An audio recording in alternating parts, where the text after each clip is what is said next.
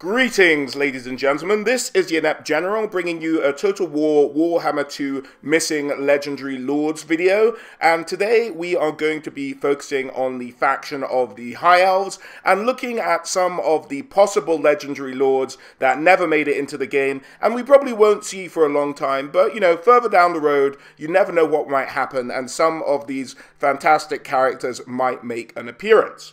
So the way this video is going to work today is I'm going to go through some of the characters, probably in order of I think most likely to least likely of them appearing at some future point in the Total War Warhammer franchise. And we're going to start things off with the legendary captain of the White Lions, Korhil. Now, we're starting with Korhil because I think there's maybe an argument to be made that he's in a way in the game already. The character of Alastar, a general you can recruit to the Lothern faction of the High Elves, has a lot of similarities with Korhil, and I know he was the desire of a Make-A-Wish kid, but if Creative Assembly were going to make a Korhil, short of putting a smaller axe in his hand, he'd almost look exactly like the Alastar character in the game already. So one could argue, just rename him, you've kind of got him without the additional weapon in his hand. So that's why I put him first on this list, not because he's necessarily number one ranked most likely, but because he's kind of in the game in some form already. There's a lot of similarities there. That's why we're leading off with Korhil. Now, Korhil began his life as a Chracian hunter. Um, we presume he's Chracian, although the sources directly saying he always was are a little bit sparse, but He's described in sentences along with other Chracian hunters towards the beginning of his story. He was already a young, strong warrior stroke hunter. He thought, you know, in perhaps in young arrogance, that he could do something that had seemed impossible. There had been rumors of a tale of a mighty Chracian lion that had been afflicted by the touch of chaos and had mutated into a monstrous beast that's already said to have claimed the lives of many many other Chracian hunters who have gone missing in recent times. So this young, strong Chracian hunter, Korhil, is like, alright, I think I can do this, and sets off into the wilderness undaunted to find this beast.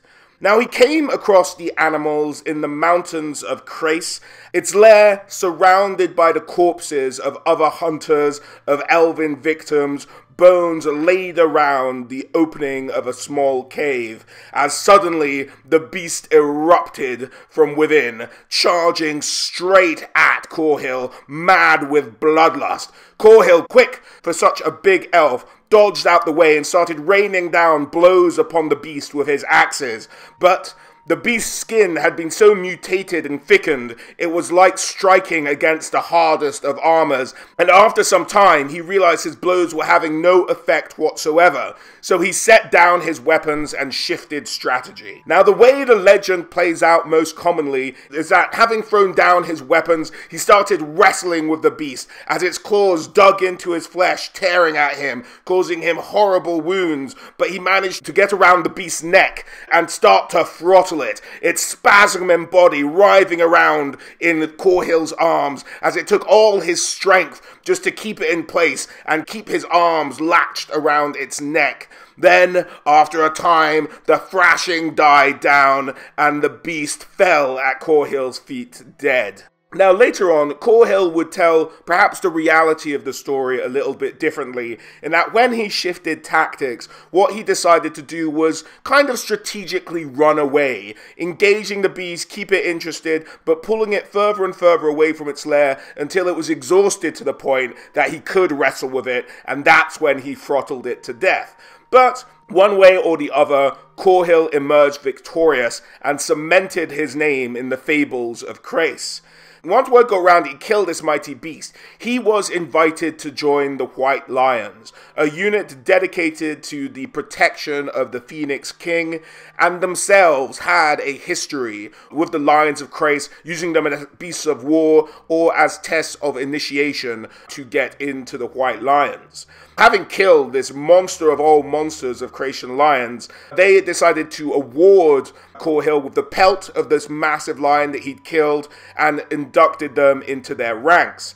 When he joined, he was actually the third youngest White Lions ever to be indoctrinated into their ranks. As he was an adolescent, really, when he'd killed this lion, he was still growing, still a growing boy, and he grew into a warrior of immense size and stature, really a veritable giant amongst elves, and his strength matched his immense size. It said he was capable of taking one of a Hydra's heads with a single swing of his axe, such was his immense power. At this stage, it's thought because he was so strong and still had speed to boot, he decided to take up two weapons as his standard, whereas most white lions will just wield the single double-handed axe. Korhil's immense size and strength meant he could easily wield two weapons at a time when fighting his enemies, and so became slightly known for this throughout the ranks of the White Lions. And so he went on to fight in many battles with the White Lions. By the time the year 2302 rolled around of the imperial calendar, some 200 years before the start of the Total War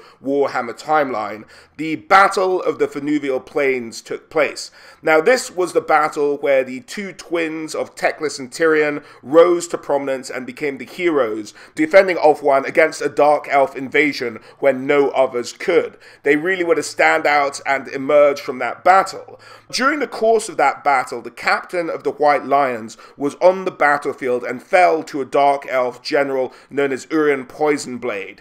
So this meant that the White Lions were without leadership. Now it seems that the White Lions actually elect their captains, and so Korhil won an overwhelming majority and became the leader of the White Lions. As the captain of the White Lions, he was awarded Chayal, the blade of the captain of the White Lions since their founding.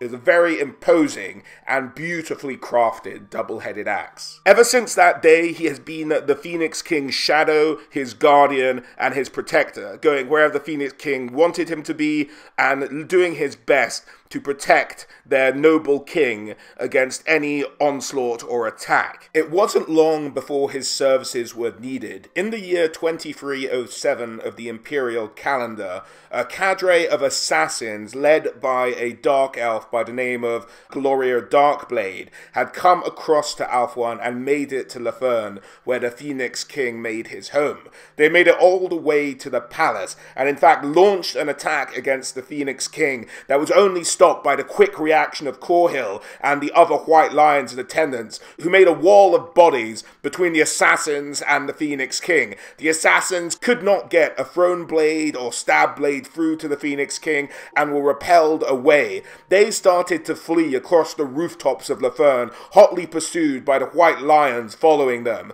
Eventually, they were all hunted down by the White Lions, and it was Korhil himself who caught up with Gloria Darkblade and with a single blow felled the nefarious dark elf assassin, saving the life of the Phoenix King, not the last time he would be called upon to perform such a duty. He takes great pride in his work and, in fact, has never failed and almost has a pathological need to never fail. Such is his devotion to his task. He's distinguished himself many times in battle, and another story that went down in Korhil's legend was during the Battle of Tor Achare in the capital of Chrace. Now, this battle involved a huge force attacking the city, and Korhil had to face down against a huge manticore single handed. Now, the beast descended upon Korhil, who got grievously mauled in the initial attack, but had enough strength held back that he timed a perfect swing of his powerful axe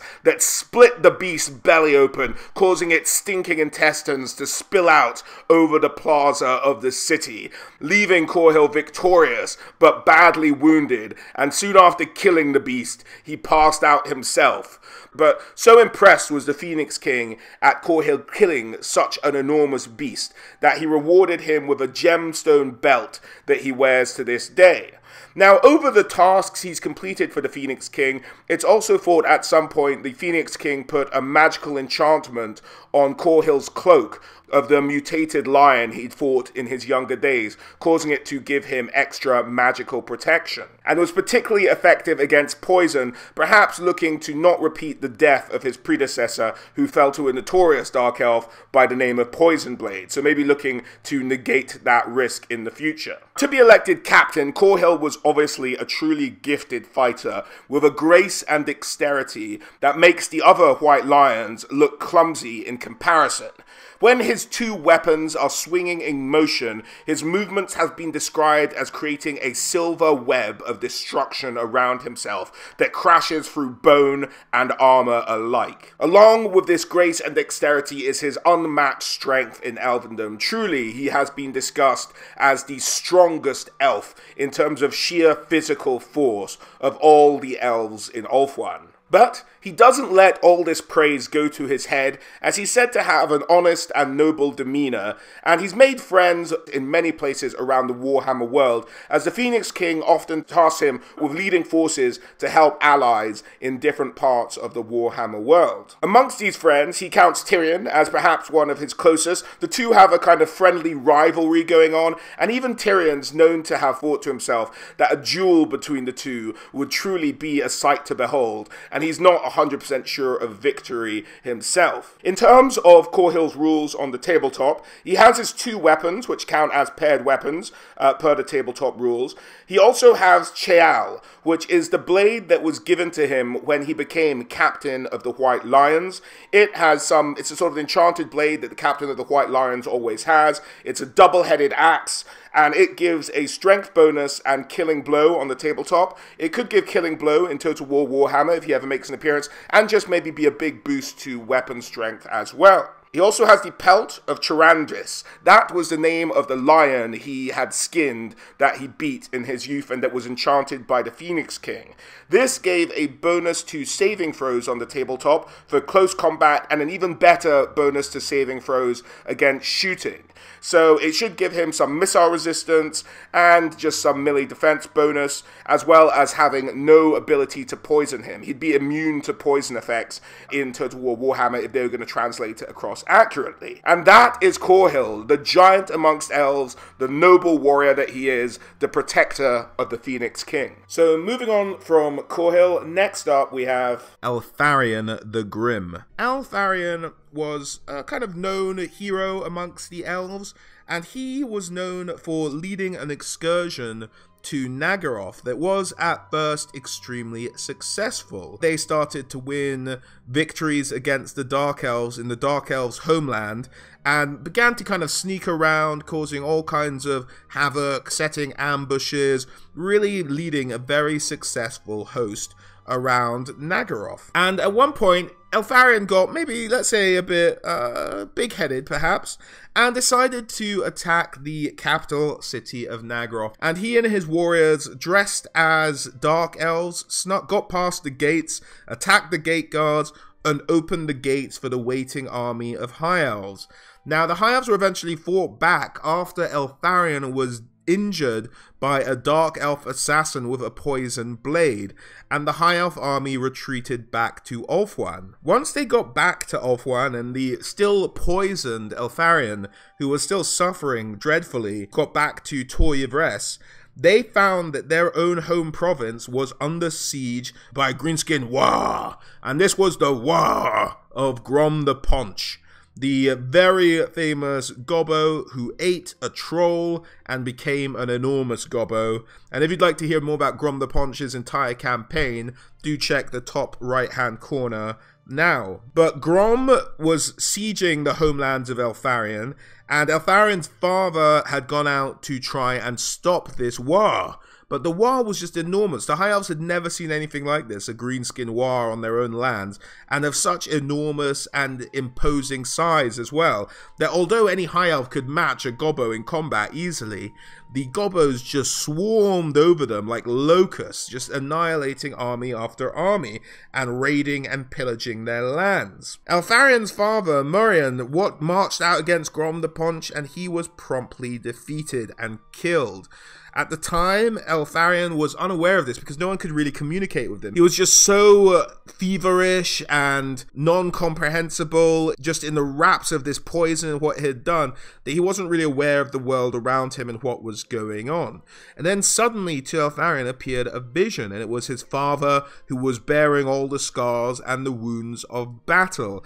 And he spoke to his son and explained the situation. He said, This guy Grom the Paunch has come. He has his lieutenant, the shaman Blacktooth who is destroying the Waystones, which protect us against chaos magic here in Ulthuan. And there's more chaos magic coming to our homeland territory, and it's affecting and it's corrupting the land. You have to put a stop to Grom the Paunch and his evil wizard buddy. And Eltharion suddenly wakes up from his feverish dream to find that where his father had been standing in his dream was the old ancestral blade of his family, Fangsword, and he picked it up and vowed to end the War of Grom. At this point, Grom had kind of marched through the countryside of Yvresse and had destroyed many, many waystones, so much so that in fact it's believed if he destroys one more, the entirety of the vortex will collapse and chaos will be unleashed upon the world once more. And the last waystone he wants to destroy is underneath the capital of the region. So Grom and his lieutenant Blacktooth are marching. An army tries to intercept them, led by Eltharion's younger brother, and he is cut down as well. So at this point, Grom has killed Eltharion's father and his younger brother. So Grom continues his march, and for three days and three nights, he lays absolute wreckage upon the city. The greenskin catapults are firing huge boulders into the city, doom divers are raining down, vast seas of gobbos are just waiting to burst into the gates, and eventually the gates do fall under this incessant and overwhelming power of this greenskin war, and they begin to storm the streets. All appears to be lost. The Waystone seems like it's going to be destroyed. Blacktooth, the greenskin mage, is over the city, just delighting in his victory and how powerful he's become with the destruction of the Waystones, obviously being guided by the Chaos forces. And then out of the kind of glint of his eye, Blacktooth just sees something darting towards him, and in a last gasp attempt to try and defend himself, starts to send some ethereal green fists towards the aggressor, but before he knows it, whoosh, his head is parted from his shoulders, and streaming past him on his griffin Stormwing is Eltharion, who has decapitated the greenskin mage. Just as his troops land on boats into the capital of the city and begin to fight off Grom's war. Grom tries to rally his troops, but in the end, he is a gobbo at heart and gives up and runs away into the hills of the area, now, Grom hasn't been seen since that day, and that was a very long time ago. Eltharion then took up a quest of making sure that no Greenskin War ever threatened his beloved homeland again, and took a elven army to the Badlands and began to kill any greenskin he could find. After a while, he won victory after victory, but he began to realize that not understanding Greenskin Sky psychology particularly well, that by killing all these war bosses, he was just encouraging more wars to pick up, gather troops, and march towards the pointy heads because they were a good bloody fight. So that's what the Greenskins were doing. Upon realizing like what was going on and that he was just encouraging more violence on the Greenskins' part, he took his army and went home and decided to defend Ulthuan from there from any kind of greenskin invasion. Now, Eltharion is one of the few characters, and the only one that's popping to my mind right now, there may be others, but the only one popping straight into my head, that actually has a rule on the tabletop against a single other character, who is Grom the Paunch. Eltharion on the tabletop hates Grom, determined to see Grom dead above all others. So we mentioned his mount already, he has a griffin, Stormfang. He has his ancestral sword, the Fang Sword, which does magic damage, and no armor saves can be made against it on the tabletop, essentially meaning it should be very armor piercing in Total War Warhammer 2. He also has the Helm of Yvresse, which is the ceremonial helm given to the wardens, which he was selected to be warden of the province after he saved it from Grom the Paunch.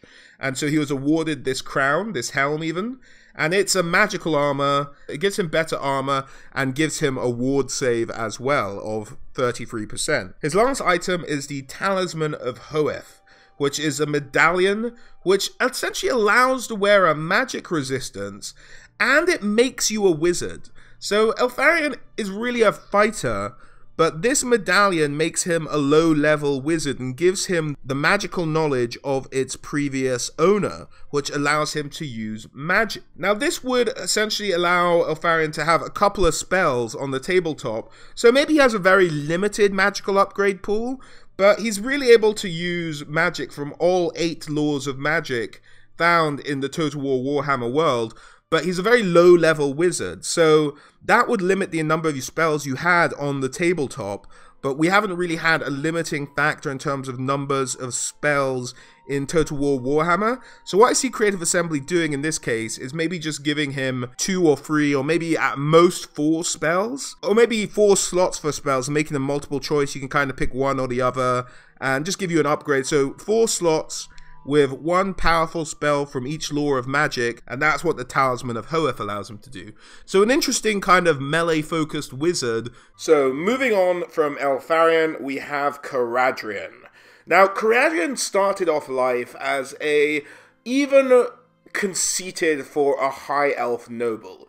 He was up there, you know, eating grapes on a chaise longue all day, just having a great time, being just a right royal prick. In everyday life, ongoing and continuous. One of the most conceited elves to ever walk the island of Ulthuan, and that really is saying something.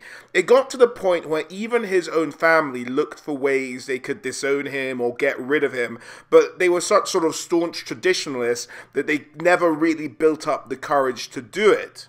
So, one day, this conceited prince goes off and does the pilgrimage that all elven nobility are expected to do, and that is to go to the shrine of Asuryan. Now, this is where the Phoenix King is coronated, walks through the flames of Asuryan, but you know, everyone's meant to go and have a look at it. He's off to do this, and in his most conceited, kind of arrogant, sort of lack of respect act ever, he sneaks off from the tour group and goes into what is known as the Chamber of Days, one of the most holy places within the Shrine of Asuryan, reserved really for the Phoenix Guard. It's a place where you can see the future, sort of past, present, future, all things around you, and it's what Phoenix Guard do, and then they walk out and take their vow of silence, promising never to speak of the things they've seen. So he goes into this room and it locks behind him, and basically he disappears for a number of days people are kind of concerned. They kind of know where he is. They're like, oh, he's going to face harsh punishment. But he walks out with the mark of Asuryan branded into his forehead, marking him as a servant of the god of the elves. So he walks out, immediately gives up all his worldly possessions, just like, nope, take it off me. I don't want my title. I don't want anything from this mortal coil anymore. And then takes the vows to become a Phoenix Guard and hasn't spoken a word since that that day. So, as a Phoenix Guard, he served honorably, going to the battlefields that they were summoned to, carrying out his meditative responsibilities, thinking on the word of Asuryan. Almost a priestly knight, really, is how the Phoenix Guards operate. During the Battle of the Finuval Plain, where Tyrion and Teclis saved the island of Ulthuan from a dark elf invasion, there was a battle in which Caradryan was involved, and he was there fighting on the battlefield when suddenly he saw a Frostheart Phoenix tumble out of the sky, having done battle with a fierce black dragon. He came to the Phoenix's aid and fought off single handedly the Dark Elves looking to murder the fallen Phoenix. Ever since then, the Phoenix and Caradryan have been firm friends, and in fact, the Phoenix was one known as Ashtari. Now, Ashtari is now thought to be the oldest and wisest of all the Phoenixes, but ever since that day at the Battle of Finuval Plains, in the year 2302 of the imperial calendar, so some 200 years before the current Total War Warhammer timeline. They have been firm friends, and he has had Ashtari as a mount ever since. Then, sometime after the Battle of Finuval Plains, there was messages sent down to the Phoenix Guard that the current captain should kind of step aside, and it was the time of Caradryan to come forward and become the captain of the Phoenix Guard. He spends most of his days sort of looking in the Chamber of Time time reading the fiery letters of the god Asuryan, seeing the future, seeing the present, observing all things. But it's kind of hinted at that there is some degree of interpretation in the future predictions in the Chamber of Days, where it takes a keen mind to make the most sense out of it. And it's thought his gift for perception has made him have much more accurate readings, and as such, really it was one of the factors in placing him as captain of the Phoenix Guard, because he has this gift of being able to interpret the ways that the Phoenix Guard tell the future in a much more accurate and concise way. Apart from whiling away his days meditating in the Chamber of Days, he also is sometimes found just staring for hours out from the tallest battlement at the Shrine of Asuryan, just observing all the known world, kind of taking it in, everything he's seeing all at once, and he's just looking out for opportunities to be of use to serve the god Asuryan. His next big sort of campaign sortie was in the year 2399 of the imperial calendar. And at this time, a Skaven fleet of submersibles had gone past the gates of Lothern and made it into the inner sea of Ulthuan. They made landfall on the shores of Eataine, and the Skaven horde packed into those ships poured out onto the shores of Ulthuan, and they were met with an army of Sea Guard. Now, the Sea Guard just started firing arrows, all completely disciplined, holding off the Skaven hordes with their spears and bows. However, the Skaven are wily little creatures, and they were not sending their best first. They had sent six huge waves of Skaven slaves ahead of their main forces, and indeed it had done its job. Most of the Skaven slaves had taken the arrow fire from the Sea Guard, and their quivers were running extremely low by the time the storm vermin and rat ogres of the ships began to pour forth onto the battlefield, coming at them. Now the island was in a huge amount of calamity. If the Skaven managed to break out and make it into the hills of Ulthuan, Ulthuan would be forever tainted with a Skaven infestation. They'd never be able to get rid of them. They would have to stop them here and now. And so it was Caradryan who saw this from the battlements of the Shrine of Asuryan, and in a rush gathered forth as many of the available Phoenix Guard as he could, and the Phoenixes of the flame spires near the shrine itself. Now, why he didn't see this coming and pre plan and already be there waiting, never really explained, but he prepares for battle and they fly across. The Phoenix Guard got six man on a Phoenix as they flew across the ocean to go and help out the Sea Guard in their defense of their beloved homeland. Meanwhile, in the battlefield itself, the Sea Guard had actually managed to kill the warlord of the Skaven by the name of Shizgrach of Clan Rictus. Now, he was taken out, and they thought, okay, they're gonna break now, and we can just chase them down. But no, suddenly this chittering started.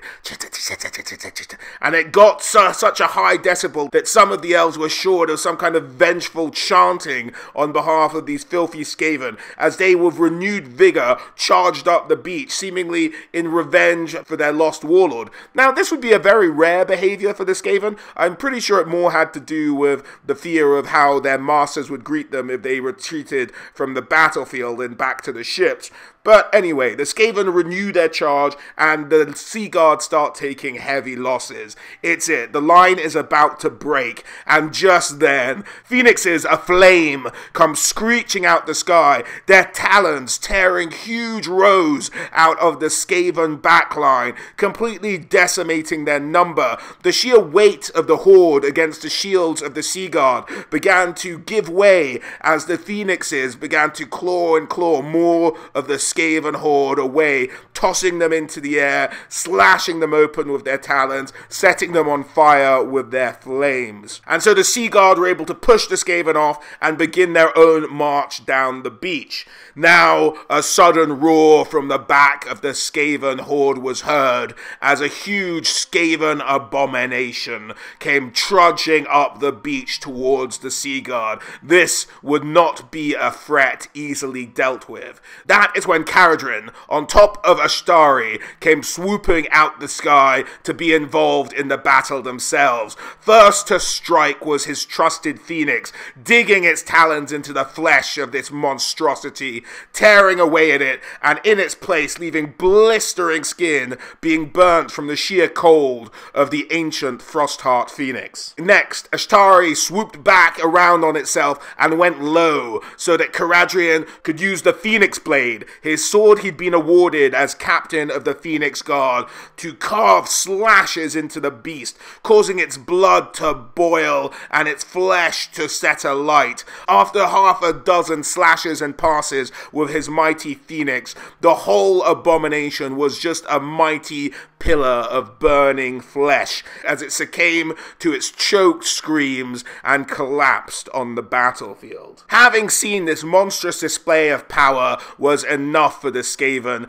and they broke back to their ships. But the captain of the Phoenix Guard was too wise to what might happen, and before he'd arrived at the battlefield, had split his forces into two, with half of the Phoenixes and Phoenix Guard sent to destroy the ships that the Skaven had arrived in. And so, trapped between two forces now, the Skaven began to get massacred. Late reinforcements from the City of the Fern came on cavalry and helped to ride down every last Skaven that landed on the beach that day. Although foresight wasn't his best weapon that day, he was able to see in the present that the island of Ulthuan was at risk and ride to the rescue on board his trusted Phoenix. In terms of his rules on the tabletop, like all Phoenix Guard, he causes fear amongst his enemies because he's quiet. Yep. And uh, he also has, as I mentioned, the mark of Asuryan on his forehead. And the idea of that is that when an enemy kills him, which, you know, how, how often can that really be useful in, in sort of a larger context? But the way it would probably work in Total War Warhammer would be that in the tabletop, if you killed him, you would suffer wounds to yourself. It would work not unlike the Curse of the Tomb Kings in Total War Warhammer, where I'm sure if you got him like below 50% health, he'd start to do damage to everyone in a radius around him, or all the enemies in a radius around him. It'd be very similar to that. He also has the Phoenix Blade, which has been passed down from captain to captain of the Phoenix Guard, and that gives plus one strength on the tabletop and flame damage, but also causes D3 wounds. Now, in terms of translation to Total War Warhammer, probably see increased weapon strength, flaming damage, of course, and really the D3 wounds just equates to a higher weapon strength as well. It'd be along those lines. The fact he rides as a mount, his Frostheart Phoenix, you'd get all the cold attributes that they've been given in the Total War Warhammer game. That would be how he'd probably be translated in the game if we ever get to see him. So that's about it for Caradryan. Uh, we are going to move on to another lord, and that is Imrik of Caledor. Imrik, the Prince of Caledor, last in the line of the famous Caledor Dragon Tamer, the elf responsible for creating the vortex that sucked all the chaos magic out of the Warhammer world, thus saving it from a chaos invasion in ancient days gone past. Imrik is the last of that illustrious line, and growing up in Caledor in his youth, he had a problem with the parochial and cautious nature of the elves. He had an issue with them being so buttoned down and not really interacting with the world or being more aggressive against the factions that threatened them. However, as a conscientious young man, he managed to conceal this disdain for the overall political climate, as he didn't necessarily want to stick out or make a point in his youth. He'd keep that opinion to himself because, above all else, really, he prized loyalty and tradition at that time. However, as he grew older, this feeling just grew stronger and stronger, and as more and more responsibility fell on his shoulders with the leadership of the princedom of Caledor, he started to take action. By the year 2351 of the imperial calendar, so some 150 years before the start of the Total War Warhammer timeline, there had been some predictions made by soothsayers uh, within Elven society that dark times were coming. This is all the impetus Imrik really needed to get things going and to start to at least make, if nowhere else, the princedom of Caledor prepared for the darkness to come. As such, he ordered the waking of as many dragons as possible. The smithy fires of Vaul's anvils were all to be lit again, and the magical arms that once flowed from that sacred volcanic area would flow again and arm the armies of Caledor. He almost cared not what the expense, they had to be ready for what was to come. He was sure that regardless of something coming or not, the elves were under threat now, and so started to almost immediately dispatch the armies of Caledor around the Warhammer world, mainly concentrating on elven colonies to shore them up, to make them safe, to relieve the ones that were under attack from their enemies, and then to fight off any nearby enemies for some of these island colonies. All the while, keeping an eye on the kingdoms of men, for they were friends for now, but they were fragile and corruptible, and would need to be watched. This perhaps resulted in the action he took in the year 2418 of the imperial calendar. A huge horde of beastmen were marching through Bretonnia and threatening the castle of Couronne. Now, Imrik himself didn't really care much for this one city of men. It wasn't too much of a concern for him. More important was what was underneath the castle. Couronne, like many cities in Bretonnia, had been an important aspect of the network of waystones the elves had set up around the Warhammer world, and there was one waystone buried underneath the castle of Couronne that needed to be protected. If it fell to the beasts of chaos, then the whole network threatened collapse. So he himself led an army of Caledor out to back up the Bretonnian dukedom of Couronne in its time of need. And so the armies of Imrik arrived on the shores of Bretonnia and lined up with the army of the Bretonnian king. Dragon princes sat alongside knights of the realm as they prepared to deal with the oncoming horde of beastmen. The battle was fierce and legendary, and indeed to this very day, bards in Bretonnia sing of the great deeds that happened that day. They sing of how Prince Imrik and the king at the time, King Charlemagne, fought like brothers, back to back against these monstrosities, taking on every foul Ghorgon or Jabberslythe that came at them, dispatching them with great skill and ferocity. A few even claim that the king saved Imrik's life that day when Imrik was thrown from his mount by an angry Cygor, who was then about to crush the young prince, when the king himself speared the Cygor straight through the eye, saving the prince's life. Now, Imrik, you know, would never own up to that ever having happened. In fact, he remembers that day mainly for the king hanging around him and stealing a lot of his kills, and the elves themselves as a whole respected the Bretonnians and thought that their valor almost overshadowed their impertinence. After this battle, Imrik returned to Caledor to rule over his lands once again. And at some point, he gets involved in a conflict with the Druchii and gets very badly wounded, with a number of blades having fallen upon him. And he's lying there dying in an area known as the Amari Foothills as the Druchii close in around him to finish the job. And then, just as Imrik thinks he has breathed his last, he hears an enormous roar that rocks the mountains around them, and a massive dragon swoops swoops in from the sky, burning all the Druchii that were approaching the prince and burnt them alive. Then, just as the prince was losing consciousness, the dragon swooped down and picked him up and flew him back to a city within his princedom so he could be healed. Ever since that day, this great dragon, who was called to him through some unknown power, has always been at his side, and that dragon was Minathir, and would go on to be Imrik's mount and ally from that day forth. The two have a lot in common, as they both come from dwindling bloodlines, and in fact, the bloodline of Caledor Dragon Tamer is thought to be so sacred to the elves, much like the bloodline of his best friend, Aenarion, the first Phoenix Kings had on the elves, when the bloodline of Caledor Dragon Tamer falls away, then it said that so too will the elves of Ulthuan. In some ways, Imrik is a very important character to the elves, but he's made some very sparse appearances. He hasn't turned up in a lot of the lore, and I believe he was only a playable character in 6th edition, or that's when he was introduced, and he wasn't really in any of the following army books until the end times, I believe. So, in terms of his rules on the tabletop, he had a weapon known as the Star Lance, with the head of the lance forged from the metal of a fallen star, as it's described.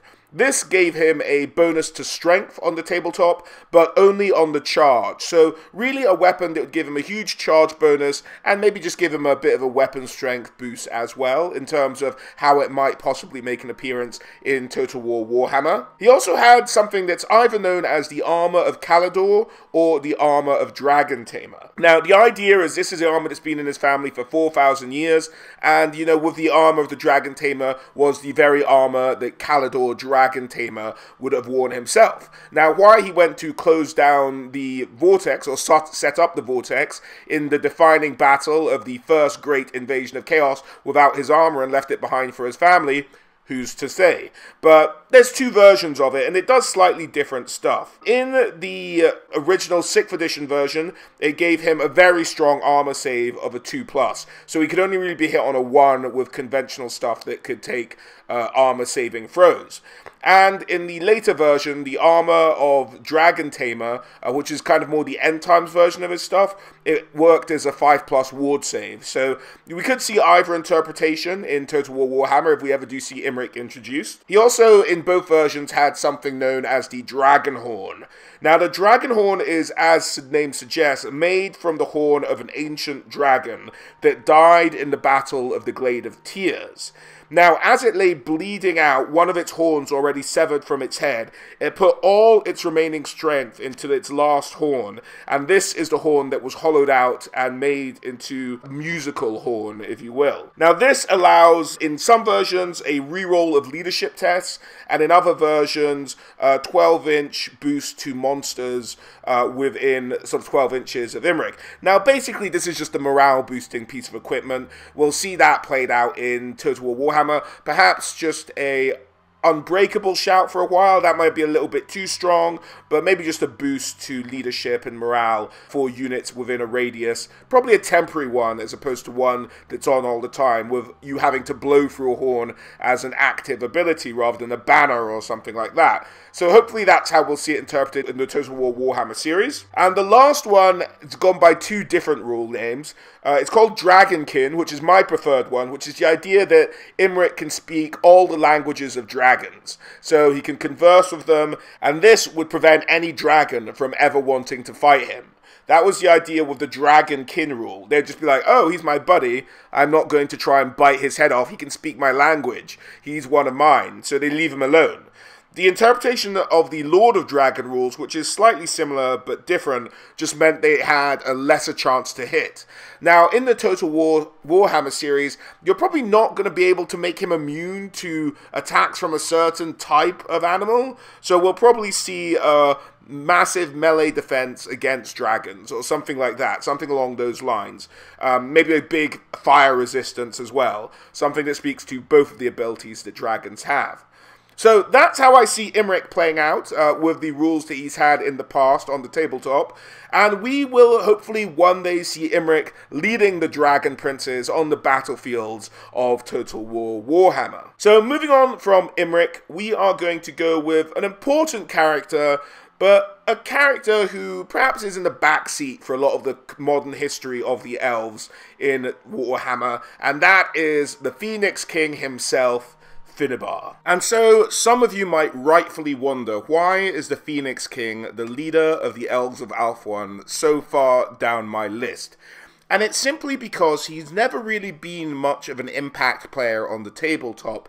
And in fact, Finubar unlike maybe some of his Phoenix King predecessors, has not done a lot of legendary tasks on the battlefield that bards will sing of. He's more of a basically an economist who's pretty good at it and does a lot of good work behind the scenes. But to begin the story of Finubar, we really have to go back to the rule of the previous Phoenix King, Bel Hathor. Now, Bel Hathor went on to become known as Bel Hathor the Sage, and he had drawn up the world and had decided that the elves of Ulthuan should continue being closed off for the world, but he had the forethought to ask a well known sailing prince who'd done a fair bit of traveling around to investigate in detail what was going on with the realms of men. For a very long time, Ulthuan had been cut off from the rest of the world and had not really been involved. But men had been kind of an emerging power when they'd done it, just some weird primitives living in caves. But it's been a while and I've heard they've made some progress. So go and do some investigative work. And he sent Finubar, the Prince of Eataine.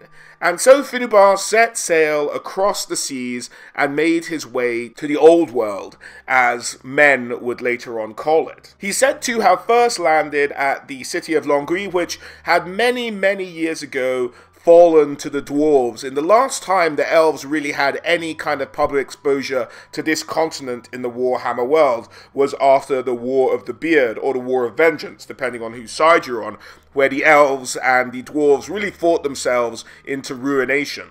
Now, Finubar, upon having his first contact with men, was both impressed and appalled at the same time at what he saw. He saw cities teeming with people. Now, bear in mind, they had some exposure to Norscan raiding parties, and he thought all humans were like that, you know, primitives, loincloths, axes, mental.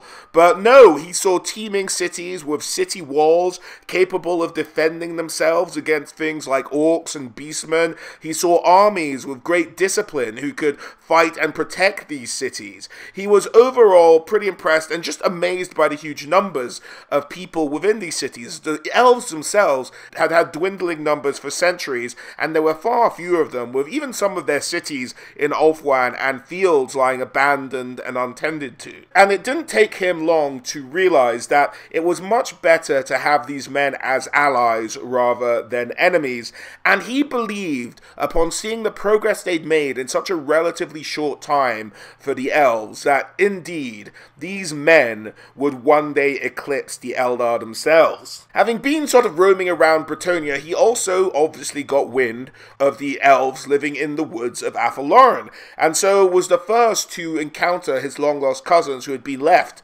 ever since the War of the Beard. And so he made first contact, and he was amazed to see how much they'd changed, how different they were from the elves of Ulthuan, how much they'd become integrated with life in the woodland realm. And although they were friendly to Finubar, kind of emissaries after his initial contact haven't been welcomed nearly as warmly, and there's kind of an indifference from the Wood Elves as far as their relationship with the Elves of Ulthuan is concerned. Now, he spent 50 years traveling around the realm of men, of seeing Bretonnia, seeing the Empire, really getting a sense of where they were and what they were capable of, and that's when he returned to the court of the Phoenix King and presented his findings. Having seen his findings and taken in his advice, Bel-Hathor agreed with Finubar that they should open themselves up to trade and relationships with the realms of men. And so began a huge boom. Now, one cynically might be able to argue that Finubar, being the Prince of Eataine, with his capital city being Lothern, had a vested interest in encouraging trade as it was the largest port city uh, within the Elven realms, and trade over this time exploded the economy of Lothern. It went from, you know, a decent sized hub of trading within Elven society, really more of a kind of port of defense against anyone trying to get into the inner sea, to the largest trading port in the whole of the Warhammer world, making his princedom a hugely influential one within Elven society. So, after some time passes, trade with men is allowed. Some men are allowed on the shores of Ulthuan, where they had never been allowed to go before. Seeing it, they were wondered at the stuff the elves had managed to do, and it really opened up relationships between the two peoples. Such had the success of this been, and the challenges of the new world been presented in having to affect the elves so much more than it had in millennia past, that when Bel-Hathor was coming to the end of his rule, he actually was the first Phoenix King to be able to pick and suggest his successor, and he picked Finubar, and the Council of Princes voted him into power with that wish. And so Finubar became the Phoenix King in the year 2163 of the imperial calendar, so roughly around 340 years before the start of the Total War Warhammer timeline. Now, when all this responsibility was placed on Finubar's shoulders, he didn't really take it very well. He enjoyed his way of life, his sailing around, his building new trade routes, and he wanted to keep doing it. And so for long periods of time during his early reign, Philippa would just disappear for months, years on end. No one was sitting in the court of the Phoenix King. He was just away. And this caused a certain degree of unrest, as some might imagine. And inevitably, plots started to build around maybe taking him off, replacing him as the Phoenix King. And that's when the Ever Queen came in and interfered and was like, no, you fools, he's the Phoenix King, don't feff around or you'll have to answer to me. And so she put an end to all that and really filled a leadership void, which, you know, she would do anyway as the Ever Queen, but in some ways the Ever Queen has been like the Pope versus a president, if you will, with the Ever Queen being the spiritual leader and the Phoenix King being the actual leader of stuff on the ground. At least that's the best analogy I can really come up with as far as the elves are concerned. Now, while on his travels, Finubar's having a whale of a time. He's having adventures, he's saving princesses in Ind, which actually got him a sword that's able to project magical fire and light out of it uh, from a magical, mystical kingdom in Ind where he saved a princess once. So he's off having a jolly old adventures, and after some time, time eventually settles down and comes back to Ulthuan, and his sort of adventures and dalliances get a little bit less frequent as time goes on. In the year 2301 of the Imperial calendar, Finubar kind of has the greatest challenge he ever has to face, and that is a Chaos Incursion. The Dark Elves, with some Norscan raiders, launch a huge invasion of Ulthuan, and they very nearly succeed. This culminates in the Battle of the Finuval Plain, where Tyrion and Teclis, the twins, emerge as champions of Ulthuan and help defeat Malekith and his mother at the Battle of the Finuval Plain. Now, the issue here is that Finubar, this whole time, is where you'd think he'd rise to prominence and be the one to lead the charge against the enemy. His court in Lothern is completely under siege. He is just not able to escape, he can't get out. There's no way for him to go and help the rest of the kingdom. For most of this entire war, he's just trapped behind the gates of Lothern. Now, it's not necessarily a cowardly thing. It's just that strategically, if they marched out, they'd be beaten, but they knew they could hold the city. And so they, he just gets stuck in a stalemate for almost the whole of this trouble. And this sums up a lot of what actually happens with Finubar. When the time does come in Finuval Battle of Finuval Plains 1, he does ride out and help clear out the battle. And he has two new champions in the face of Tyrion and Teclis to help him and do some work with him. Now, Teclis immediately after this time leaves to go and help the realms of men. But Tyrion sticks around and becomes almost a champion of the Phoenix King as well as the Ever Queen, and becomes a very useful leader for the High Elves. But it kind of puts Finubar even more as a backseat. Now that he can rely on Tyrion to lead armies and, you know, take out the capital's army and lead them for him, he doesn't really have to do that anymore. So he kind of withdraws even more from Elven society. The Chaos Incursion also brought with it the coronation of a new Ever Queen. She was at her weakest, but this was the Ever Queen that Finubar was meant to marry. The Ever Queen and the Phoenix King are always meant to come as one to give birth to the new Ever Queen. This is just the way the system of the elves work. Now, I'm not sure exactly how they time it out in terms of daughters not having to marry their dads, but they managed to do it because elves are long lived. I suppose they can wait around for a new Phoenix King to be elected. And if the Phoenix King's married, does he then have to get divorced? There's a lot of unanswered questions as far as I'm concerned with the Phoenix King, Ever Queen uh, relationship that I don't think I've ever really read a fantastic explanation of in the Warhammer lore. Suffice to say, new Ever Queen is coronated, and she is the one who is expected to marry Finubar and give birth to the next generation Ever Queen. Time progresses and things start to go a bit wrong for Finubar. There's still a lot of stuff going on, but he's never really directly involved in solving many of these problems. There are near constant Norscan raids. There is the great greenskin incursion of Grom the Paunch that Eltharion eventually had to deal with. There's the assassination attempt, the year 2307, that Korhil helped protect him from, the leader of the White Lions, that he managed to survive. But a lot of things tend to happen to Finubar as far as the great stories of the elves are concerned, and he's very rarely engaged directly in solving those problems which is why we may never see him as a character in the Total War Warhammer series, more as someone behind the scenes sending you notes and giving you orders of stuff to do. At some point, it is believed that Finubar does successfully impregnate the Ever Queen, and they have a beautiful daughter by the name of Aliathra. But there are dark rumors swirling that all may not be as it appears with the Ever Queen's child. But to think such sacrilegious thoughts would surely be blasphemous. And what kind of Ever Queen would ever debase herself in such rumored ways? To perhaps find out a bit more about the source of these dark rumors, do check out my Alarielle lore video popping up in the top right hand corner now, or you'll find a link in the description below to get to the bottom of these filthy rumors about the child of the Everqueen. But by all accounts, he's a proud daddy. But that's really the Phoenix King. Never really had any rules on the tabletop. And I think it's written kind of cleverly that because he's never really been of huge impact militarily. So Warhammer is at its core a game of war, and if you have a Phoenix King who doesn't really lead anyone to war, he's often not mentioned. And so this is why he might make an appearance, but he also might never make an appearance in the Total War Warhammer series, simply because he's not that kind of Phoenix King. He's not like Aenarion, the first Phoenix King, a fantastic warrior, general, and leader.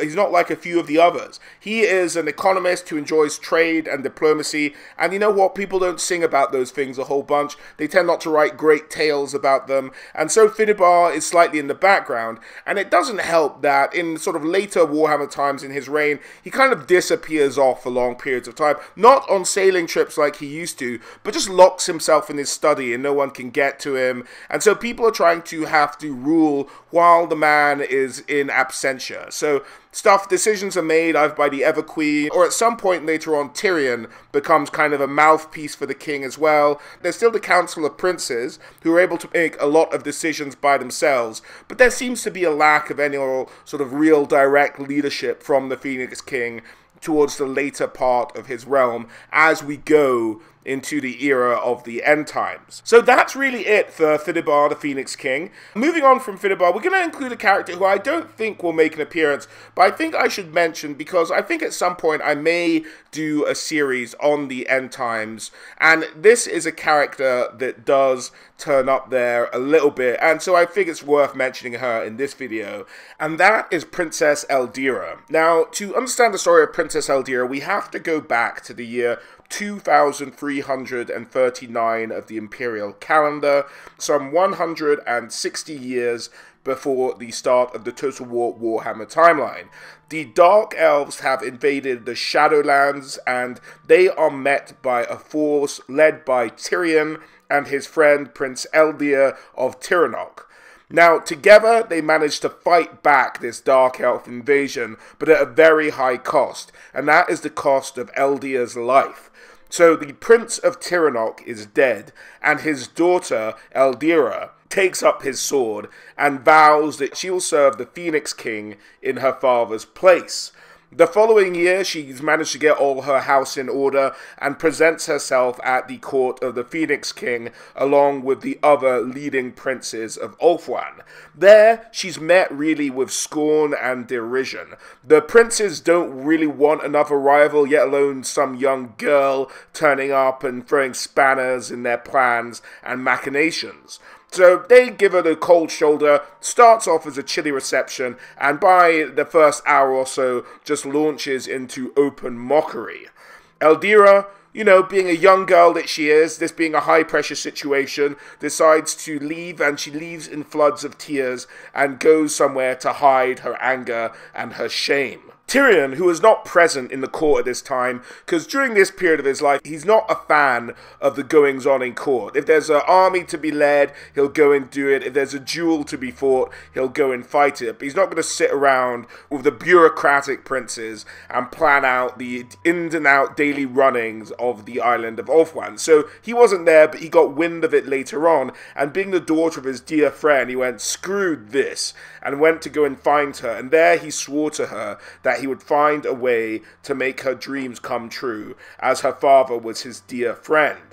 The next day, Tyrion walks in and announces he has a new squire. Now, Tyrion is a fighting legend at this point. He's won the Battle of Finuval Plain, he's won countless tournaments and duels, and is a true hero of the entirety of Ulthuan. His squire must be a grand warrior to earn the tutelage of perhaps the greatest fighter in High Elf society. And then in walks Eldyra. She was not met with scorn or derision that day, and from then ever since she served as Tyrion's squire, learning how to fight in his way, learning how to be a general, learning how to lead armies. By the year 2374, she has proven herself in the eyes of Tyrion and the eyes of Ulthuan nobility, and has become a general in her own right. As far as her mount is concerned, being from Tiranoc, a place famous for its chariots, unlike other nobility from the region, she never managed to pick up the gift of riding the chariots because she was learning alongside Tyrion, and Tyrion's mighty steed was fast, and a chariot could not hope to keep up, and so she she too had learned to fight with her horse, Maldoros, which was not as quick as Tyrion's horse, Malhandir, but, you know, could kind of do its best to keep up. And so that's how she fought, and she got one of her most difficult assignments when a champion of chaos known as Sigvald sailed to the lands of Ulthuan. It said that Sigvald had grown tired of hearing the stories of how beautiful the hair of the elves was, thinking himself the owner of the most beauteous hair in the Warhammer world, he set about assembling a host of chaos to go and burn and pillage this silly little island. However, Sigvald was not met with the force he expected. He could not find an army to fight, in the night, his lieutenants would be assassinated, and he'd wake up every morning with fresh corpses of his leading officers. Over the day, they'd be harried from hidden places by bows. Any soldiers that fell behind were picked off by harrying cavalry. He could not find a straight fight even when he was looking for one. Nor could he find any towns to aim at. He couldn't find anything to do, and he was losing troops by the day. So much so that his own lieutenants had started to rise up against him, and he was fighting duels, killing them nearly daily.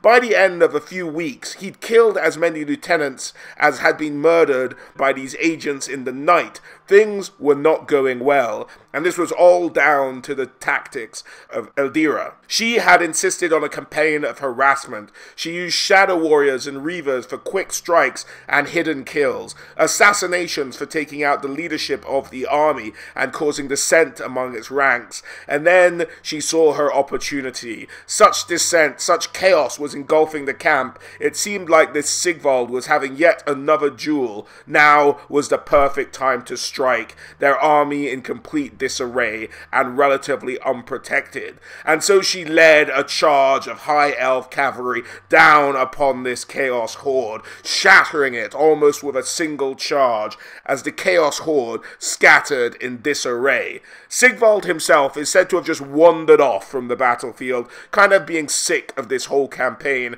killing any friend or foe who got in his way as he wandered to the shoreline and set sail for the old world once again. This is an example of Eldyra's cunning. Having hidden the elven cities with magic, she'd managed to foil Sigvald's campaign into the heart of the home of the elves.